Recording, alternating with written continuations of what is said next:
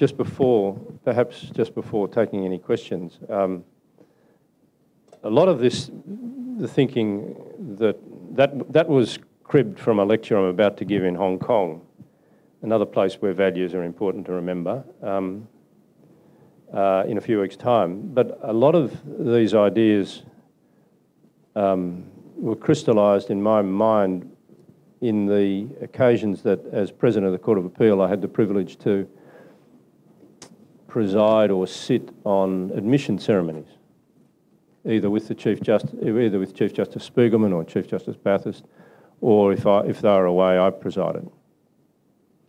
Um, and they were they're marvellous occasions. even if you don't have children or brothers or sisters uh, who uh, are lawyers and who've never been, you should actually go to one. No, no, I'm serious. You should go to one. They're, they're quite inspiring occasions because they uh, in each, there's about six ceremonies each Friday, and there's about four Fridays a year, where the young graduates who are admitted to practice come with um, well dressed, smiling, proud, and they're the parents. and, and the children and the parents are there, and the families are there. And it's, and it's before they go out into the rough and tumble and the reality, the, the tarnishing reality of life is practice. They, they get to listen to either the Chief Justice or the President of the Court of Appeal say some things. And it was these kinds of things that, um, that Chief Justice Spigelman and Bathurst and I generally speak about. And it resonates with a truly multicultural group. It's an astonishing group of people, and that's why I think you should go, because it really shows you uh, modern Australia uh, in, in its, in its in its uh, diversity and its community. And these notions, these notions of law as a trust and as a consensual relationship uh, is, is fundamental because a society that has no trust or consent to its, its organs of power uh, is and will be a dictatorship. There's some questions for, here we go, plenty.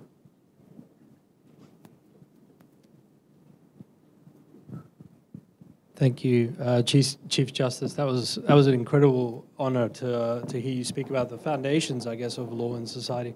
Um, my question relates to um, the more um, the hot topic of the day, which is about asylum seekers and um, refugees.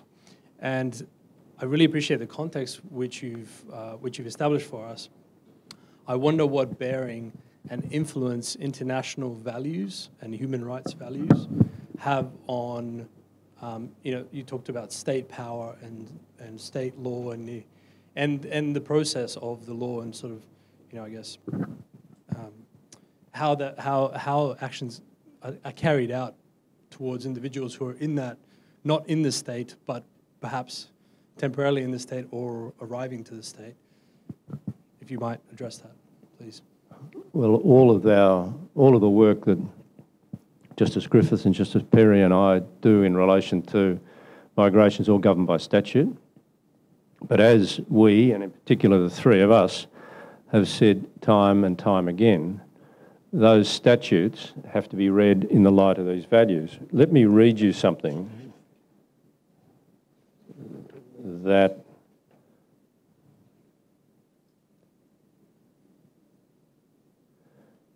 one of the best, one of the greatest judges who've sat in the last 20 or 30 years in this country, the former Chief Justice, Chief Justice Gleeson, said, when parliaments confer a statutory power to destroy, defeat or prejudice a person's rights, interests or legitimate expectations, Parliament is in taken to intend that the power is to be exercised fairly and in accordance with natural justice unless, unless it makes the contrary intention plain. This principle of interpretation is an acknowledgement by the courts of Parliament's assumed respect for justice. He said, the presumption is not merely a common sense guide to what a parliament in a liberal democracy is likely to have intended. It is a working hypothesis, the existence of which is known both to Parliament and the courts, and upon which statutory language will be interpreted. The hypothesis is an aspect of the rule of law. So he is linking those values to the very fabric of the rule of law. And in sense, that's the answer to your question. We obey Parliament, we read the statutes, but we read those statutes in the context that um, Chief Justice Gleeson has identified. Yes, Professor Suzanne Rutland. Um, I'd like to ask you, or, or, try to seek further, your issue of the balance between values and rules, and particularly the whole issue of values in stressing the rights of the individual. Because, um, and I come from a Jewish tradition, where the stress is not just on the rights of the individual, but also on the duties of the individual. Because there can be a conflict where you can't create a balance between the right of an individual as against the needs of the community. And therefore, particularly for a court of law, how do you then approach this conflict where it's not an issue of a continuum or a balance, but where perhaps what an individual believes is his or her rights will conflict with the overall needs of the community. And I think your case of, of Kable, but that type of case can be a point where the law needs to struggle. So I just wonder if you could talk about issues of duties of the individual and the conflict between the individual and community needs. That Kable gave rise to, or began, a series of cases that haven't ended. Uh, there's now about eight to ten of them, I think, where that conflict, and, and some go one way and some go the other. Um, each state, for instance, now has on its statute books and administered and held to be constitutionally valid the capacity to uh, for the courts to be authorised to judge statutes generally, not directed at any one person, uh, directed to the assessment of uh, sexual offenders who are nearing release, and if and if those offenders have not engaged in sufficient, uh, have, haven't displayed characteristics in jail that can give some ground to uh, a view that they're no longer a danger to the public, they can be maintained in custody. Now, how one argues is that different from Kable, and there are pages and pages of judgments of the High Court trying to resolve that very struggle between individual entitlement, uh, duty, and protection of the community. And that and it's generally struck around uh, the the text of the legislation and identifying what the limits of Parliament's power are. And the courts have struggled with it, but have struggled uh, in a way that's been broadly consistent. Johannes Sumasi singing from uh, PNG Consulate. I'm interested in your society and law. Just one, you might like to make comment on the uh, many societies here come from very different background, from Sharia law, private law, uh, civil law, and common law. In terms of family law, if you have an underage wife, if you like, and children, what happens in terms of divorce and uh, children and into private law, into marriage and equity. How does the court look at that in terms of the totality of it rather than limiting it to the statute or one particular case in a divorce case, maybe? Well, I'm not, uh, there's a number of questions in, in that. Um, uh, the age of consent for sexual activity is clear, and there are in this country, and there are no uh, cultural exceptions to it. Questions of uh, questions of marriage uh, are governed by the Commonwealth Statute.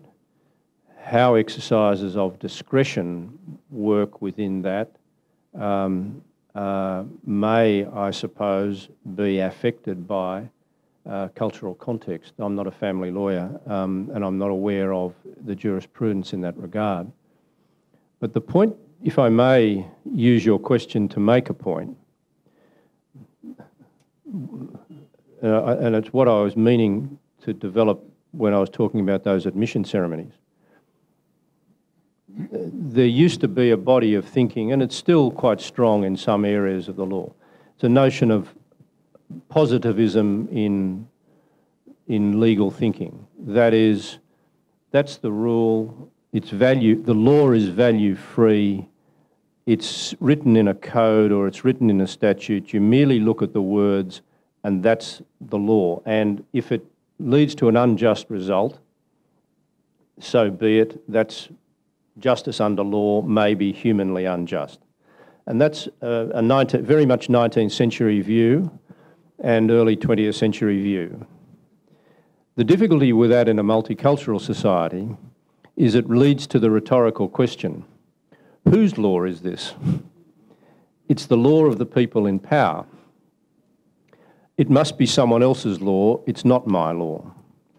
And that's why, in a multicultural society, the very development and recognition of the law needs to be rooted in human values that are common. Uh, and that's why the values that I identified are not numerous. Uh, it's not a charter of human rights. It's what lies at the foundation of the regulation of humans in society, in a, in a civilised society. And if you root your law in values that are common, you create the framework for a diverse group of people to have consent and trust in a power structure that has a, perhaps a, a, historical disconformity with the creation of the present society. Um, I did. I failed to do two things. First, I failed to acknowledge the Gadigal people um, of the Eora, Eora, Nation and their elders, past and present, uh, the traditional custodians of this land, for which I apologise. And I also didn't read that marvellous paragraph of Roscoe Pound, and let me do so in the time I've got available. He was a great jurisprudence professor.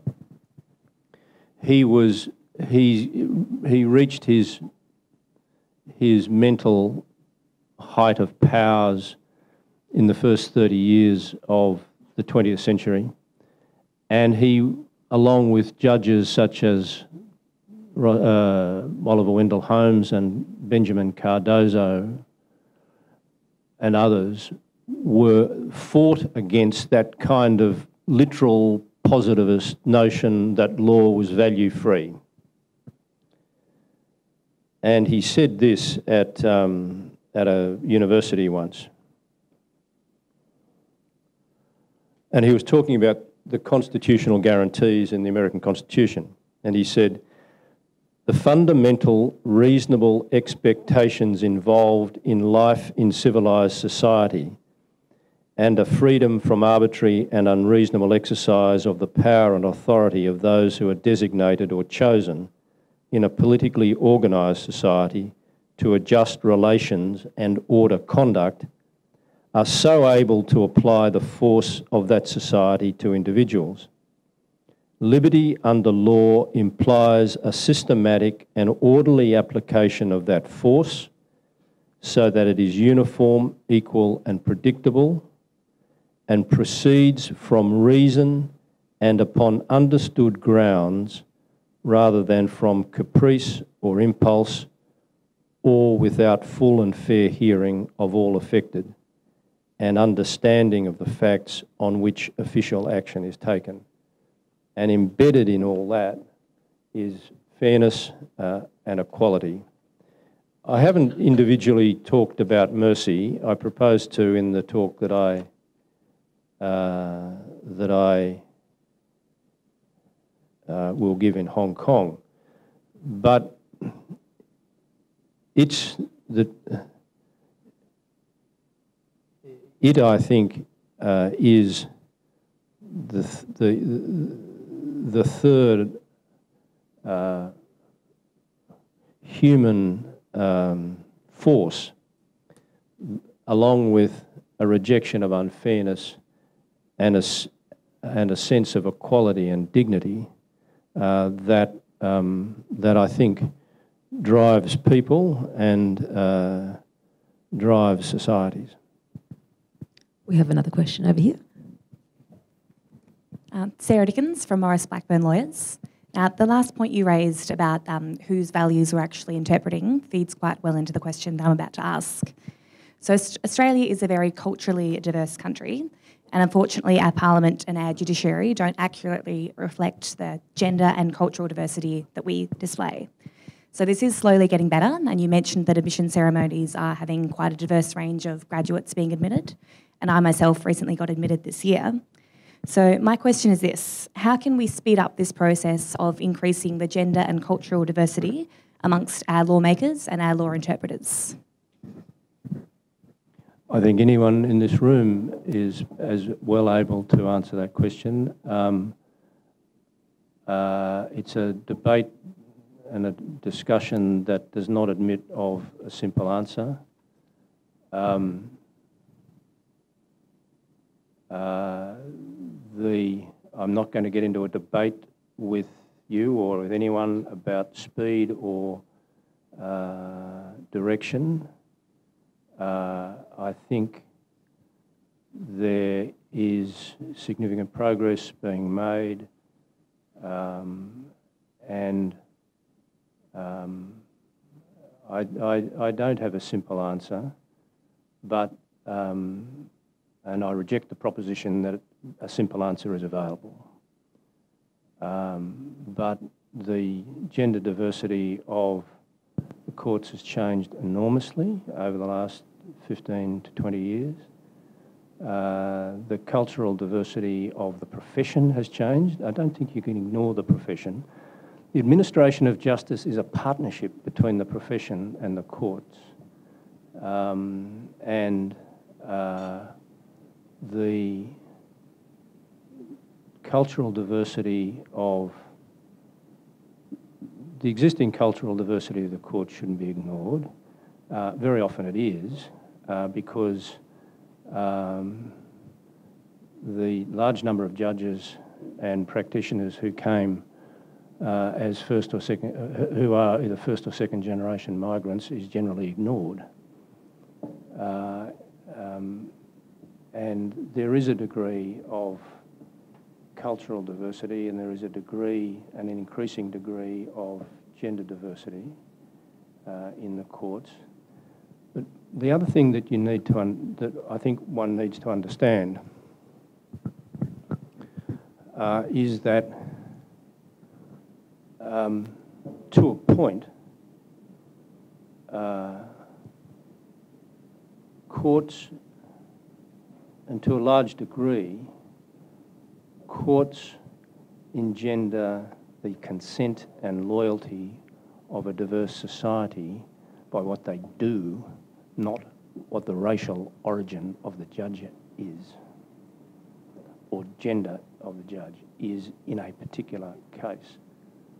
Um, and it's, I think, far more important to understand and concentrate upon the necessity for the development and vindication of the law and the common values that, and to recognise the common values that it encapsulates and is based on. And these are, as I said at the beginning, these are not necessarily the individual cultural specific um, traditions or uh, mores of different groups. They're the deep underlying matters of which I've spoken, which uh, I challenge anyone to say are not common.